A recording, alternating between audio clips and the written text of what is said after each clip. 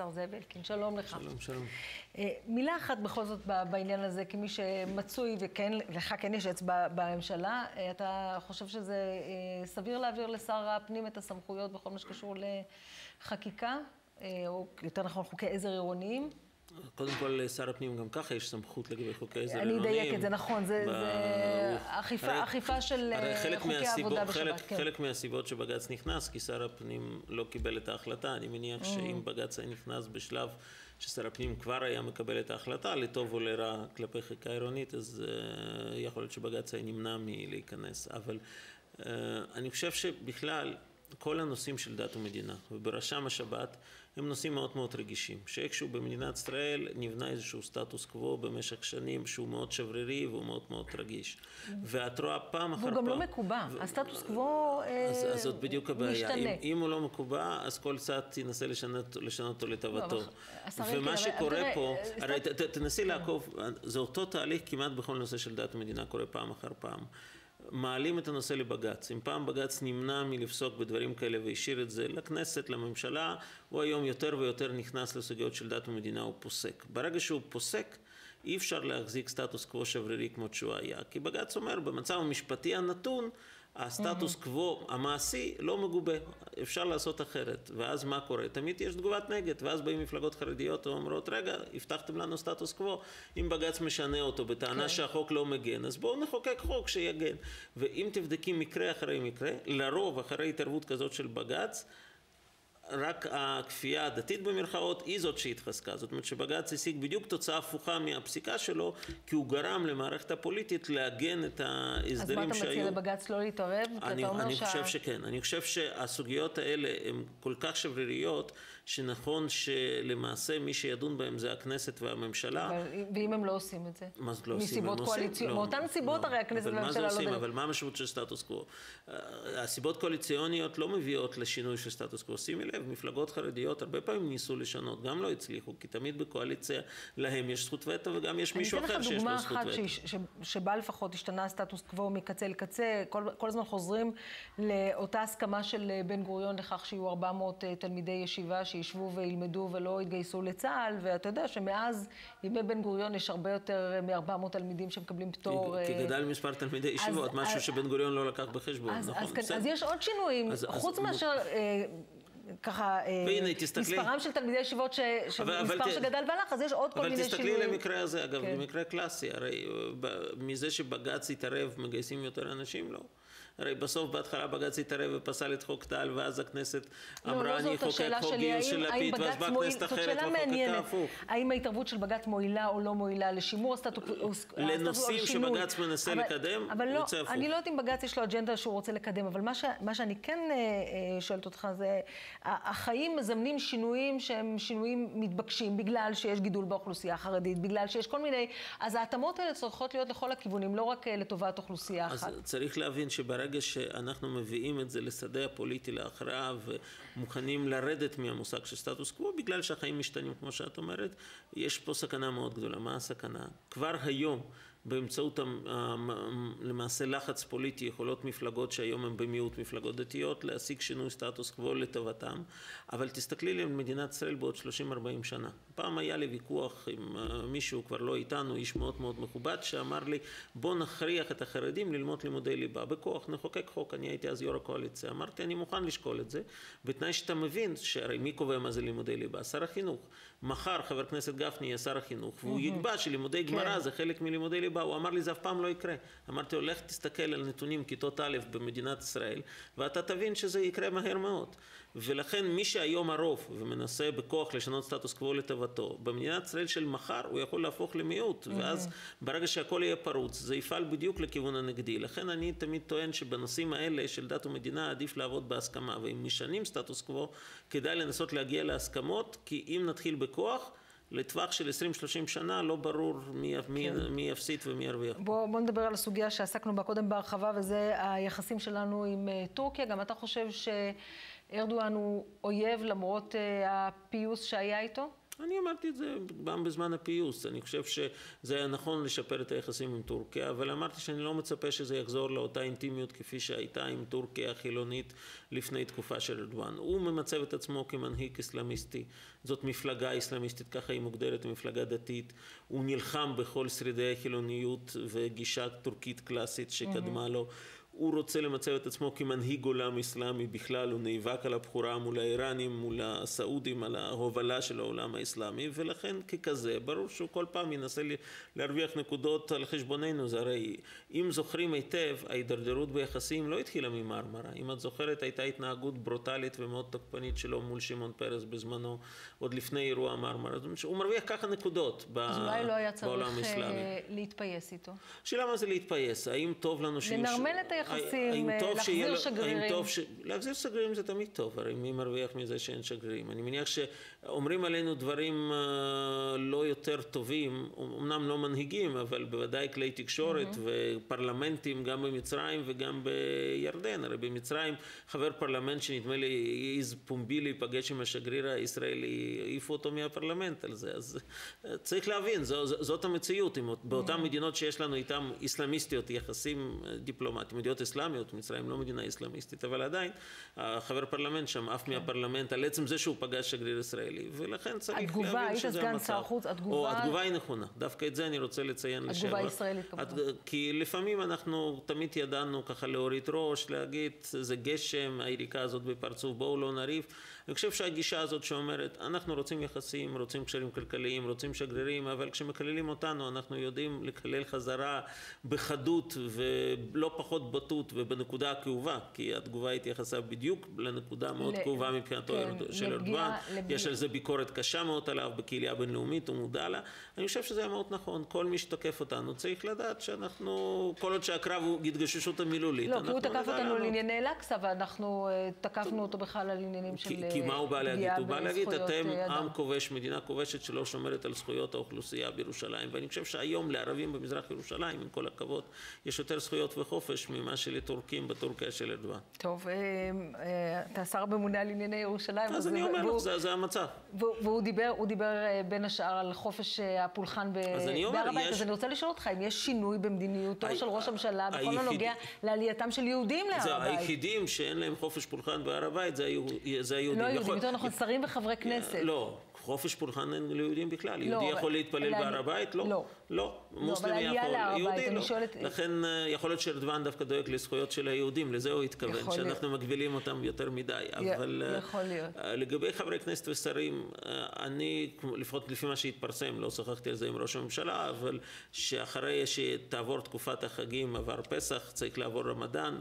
אה, רמדאן זה בקיץ. חשבתי שלקראת יום ירושלים לפחות יאפשרו. זה אני לא יודע, אני יודע שרוצים שתעבור תקופה של החגים משני הצדדים, ואז יש כוונה להוריד את האיסור. ייגמר רמדאן, יתחילו עוד פעם חגי לא, תשרי. בסדר, אבל uh, אני חושב שכן הגיע הזמן לזה ששרים וחברי כנסת יוכלו לעלות, זה לא הגיוני בסופו של דבר לעשות, דווקא חבר כנסת שיש לו בדרך כלל יותר חופש תנועה, הם דווקא היום הכי מוגבלים. Mm-hmm. עדיין בעיניי המצב הזה עדיף ממה שהיה לפני כמה שנים. לא. אבל זה, מוצדק, גם נכון לעכשיו זה מוצדק להגביל את התנועה של, ואת העלייה של חברי כנסת ושרים לארבע. אמרתי, אני מבין שמבחינת המלצת המשטרה, היא חושבת כשתעבור תקופת המתח המסורתית אפשר להוריד את זה, ואני מקווה שזה ירד, אני דווקא שייך לאלה שכן עלו להר הבית בעבר, אז זה בוודאי מגביל אותי גם מבחינה מעשית, זה לא עניין mm-hmm. תיאורטי.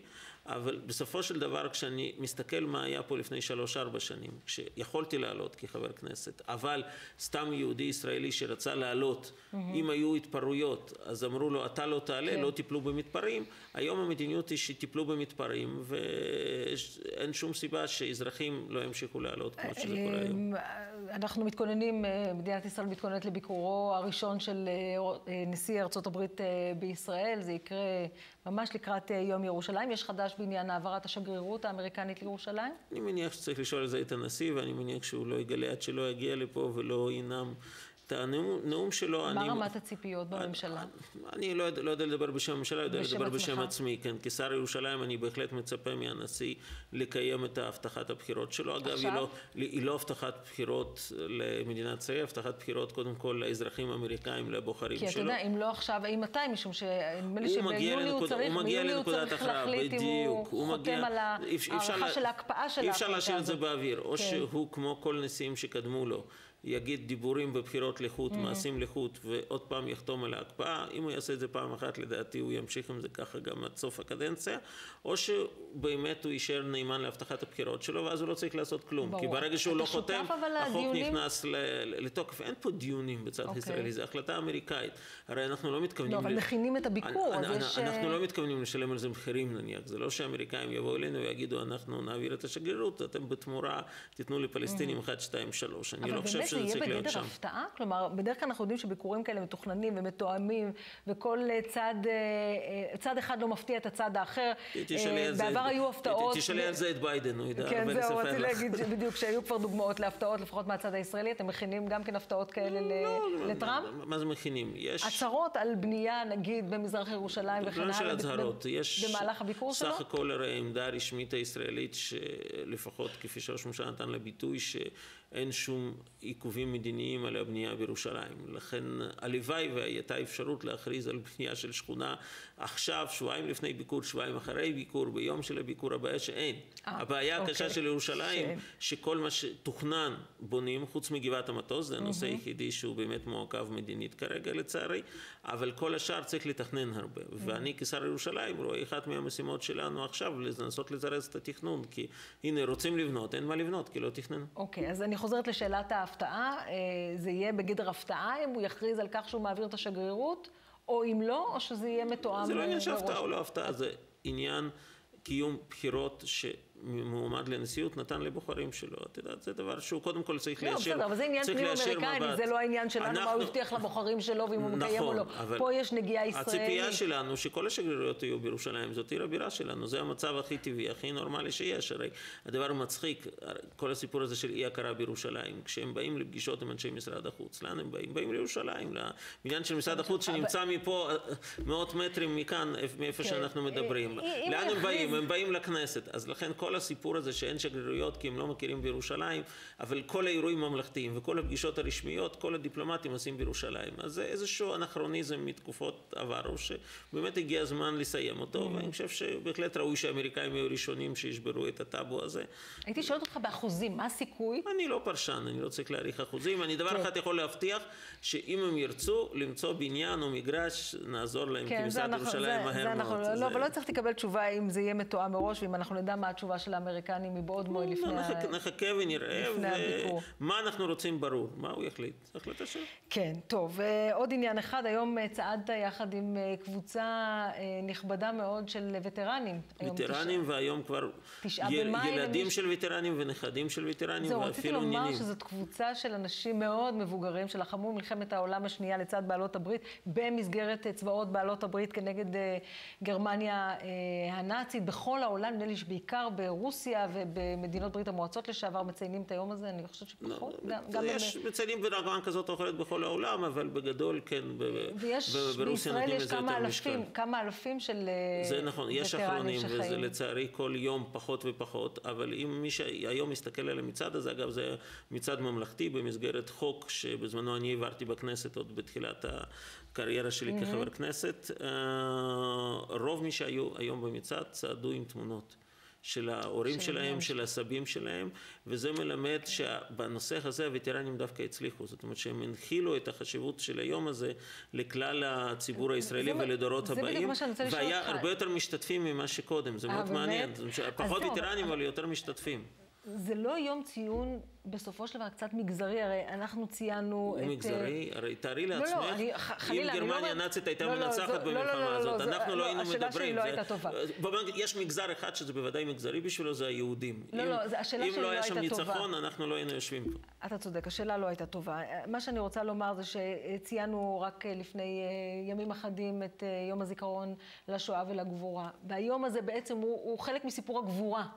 עכשיו, הוא נקבע לתשעה במאי, אבל הוא לא... כי ניצחו את הגרמניה הנאצית בתשעה במאי, נכון, נכון, נכון, מה לעשות? לא, לא, לא, זה היום... זו עובדה היסטורית, כל העולם מציין את זה ביום. אני לא מתווכחת, בטח לא עם העובדות ההיסטוריות, אבל מה שאני אומרת, שבסוף, כיוון שרוב הווטרנים הם אה, אנשים שלחמו לצד ברית המועצות אה, אה, בשעתו בצבא, במסגרת הצבא לא, למה? היו שם גם אנגלים ואמריקאים כן? ודרום אפריקאים, והיו, הרי כל... אגב, היו גם ישראלים.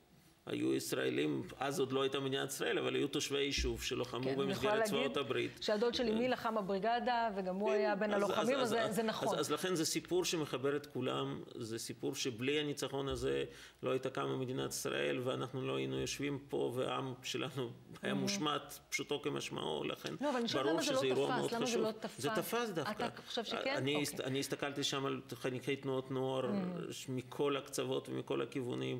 אני הסתכלתי על תושבי ירושלים שיצאו לרחובות למחוא כפיים לאנשים האלה. דווקא לפני 20 ומשהו שנה כשזה התחיל זה היה נראה נורא מוזר. היום אני חושב שזה כבר חלק מהנוף שלנו ואנחנו מבינים יותר ויותר שבסופו של דבר הניצחון הזה הוא אחת מאבני היסוד שאפשרו את כל מה שיש לנו כאן היום. טוב, אז אם טעיתי, אני שמחה במקרה הזה אה, לטעות. אם אתה אומר שזה באמת אה, תפס וזה, ויש הרבה יותר אנשים שמודעים ליום הזה והם שותפים לחגיגות באופן ביום הזה. שהפתיע גם אותי, צריך לומר שהכנסת הגיעו יותר מציינת משתתפים. היום גם. הכנסת אוטוטו יהיה דיון נכון, במליאה, אני אנאם שם גם אחד מהנואמים ארבע. בשם הממשלה. ובהחלט אני חושב שמאוד ראוי ומאוד נכון שאנחנו ממשיכים את זה ומקבים את זה. יש עכשיו כל מיני יוזמות חקיקה עוד יותר לשריין את היום הזה, יש גם רעיונות לתת לו מגבלה עברית, כן, לקחת את התאריך העברי של היום הניצחון ולתת גם לו ציון מיוחד. אז יש פה כל מיני דרכים איך לזכור כן, ומה, אבל אין ספק לשמר את הזיכרון. ניצחון על הגרמניה הנאצית הוא מאוד מאוד חשוב, וכשאתה שומע את הסיפורים, אני כבר שנתיים לצערי צועד עם התמונה של סבא שלי, זיכרונו לברכה, הוא נפטר בן 90 ביום הבחירות עצמו, הוא גם הוא היה וטרן ונפצע קשה במלחמת העולם השנייה, וכשאתה, אני קורא את הסיפורים של הביוגרפיה שלו שהוא רשם, שומע את הסיפורים האחרים, זה סיפורי גבורה מדהימים של אנשים שבזכותם יש לנו גם את החיים וגם את כן, המדינה. וזה חלק אה, מהמורשת שלנו. אה, האמת היא שאני אני לא יודעת אם יש לנו זמן, וזה אני אברר ככה תוך כדי שידור, מה שנקרא live, כי אני רוצה לשאול אותך גם על חוק הלאום אה, שמונח על אה, שולחנה של הכנסת. ראש הממשלה אמר תוך אה, חודשיים. יש, יש סיכוי שמה שנתון בוויכוח במשך שנים, צריך לומר, מאז שהוא הונח בפעם הראשונה. הונח בפעם ראשונה עכשיו- על ידי ועל ידי חבר הכנסת כן. דיכטר לפני ארבע שנים, אם שנים? אינני טועה, זה לא כל כך הרבה זמן במושגים של לא יודעת, את הכנסת. התאגיד עושים תוך כמה אה, שבועות, אז... אני אה, חושב כן. שחוק הלאום זה קצת יותר רציני מחוק. התאגיד, עם כל החשיבות שיש לא, לתאגיד. רק עניין של המהירות, השוויתי רק בעניין המהירות. אבל uh, בהחלט הגיע הזמן לחוקק את החוק הזה, סך הכל הוא מחזיר את מדינת ישראל לאיזון שהיה קיים מרגע הקמת המדינה, שקיים במגילת העצמאות והופר בתחילת שנות התשעים. המדינה הזאת מושתתת מראש, עוד לפי מגילת העצמאות, מצד אחד ההגדרה שלה כמדינת הלאום של העם היהודי, mm-hmm. ומצד שני על שוויון זכויות פרטניות לכל אזרחיה. שוויון זכויות קיבל מעמד של חוקי יסוד, דרך חוק, חוקי יסוד נכון. של uh, כבוד האדם וחירותו. וחופש העיסוק. המעמד היהודי לא, ולכן עד ב-20 שנים האחרונות, כשבבית משפט יש דיון ויש התנגשות בין האינטרס היהודי לבין האינטרס של אה, שימור זכויות, תמיד אחד גובר על השני, כי אחד מגובה בחוק ואתה רוצה יסוד, שני לא. שהיהודי תגבר ואני רוצה- על לא, הדמוקרטי. אני רוצה קודם כל כמינימום שזה יהיה שווה ערך, כמו שזה במגילת העצמאות. אה, טוב, אה, הנקודה הזאת ברורה, כיוון שזה חוק מאוד מורכב, הוא פשוט מצד אחד, מצד שני הוא מורכב, אה, אתה חושב שהפעם הוא כן יעבור? אני מאוד מקווה שכן, אני לא רואה היגיון למה שהקואליציה הזאת לא תעביר לא אותו. הבאת. אגב, זה מופיע גם בהסכמים קואליציוניים הפעם, בשונה מהפעם הקודמת, כן. שרוצים לקדם אותו, לכן יש פה אירוע טבעי. השאלה היחידה שיש, למה היינו צריכים לחכות שנתיים ולא עשינו את לא זה יודעת, יותר מהר. באופוזיציה אומרים שהחוק של בגין היה יותר טוב. זה זכותם, אני חושב שהוא לא עונה בצורה נכונה על הצרכים, ולכן אני חולק על ההצעה שלו, ותומך בהצעה שגיבשנו בזמנו עם חבר הכנסת דיכטר, כפי שאמרתי, לפני שלוש קדנציות, לפני ארבע שנים, ככה מתחלפות אצלנו קדנציות. כן. השר זאב אלקין, אנחנו נסתפק בדברים האלה. תודה רבה לך שבאת. אלינו.